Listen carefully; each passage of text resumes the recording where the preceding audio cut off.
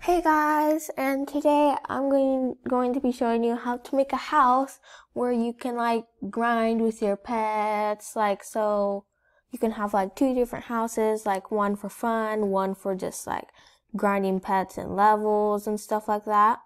So yeah, so I'm in my other house at the moment, not the usual house I'm usually in. So first of all, I'm going to show you my grinding house. So I'm going to go to my tree house.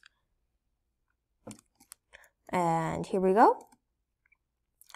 And then in order to make a grinding house, you either need like a small house, a tree house, or any house that's small because you don't really need that much room. So in your grind house, you want like pianos for the playground area. You want foods, food dispensers stuff for your pets. I recommend these type because they're the cheapest. You want bathtubs for your pets and maybe babies. And then you want beds, tons of them, because you never know how many people will be with you.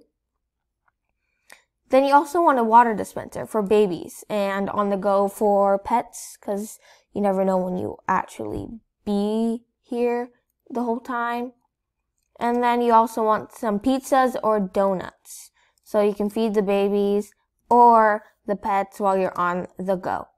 So the houses you would, you would need, you would like want is like a tiny home, a pizza place, a tree house, maybe a donut shop. Uh, I wouldn't really recommend any else, maybe a shop house because that's quite small too. I wouldn't really recommend anything else all the rest are just for fun. But I would really recommend like smaller houses for the grinding house since you don't really need much space unless you want a lot.